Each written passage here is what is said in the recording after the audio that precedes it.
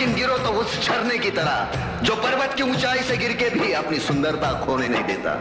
ज़मीन के तह से मिलके भी अपनी अस्तित्व को नष्ट नहीं होने देता। लेकिन इतना सोचने के लिए वक्त है किसके पास? क्योंकि साला एक मच्छर आदमी को हिजड़ा बना देता है। Likey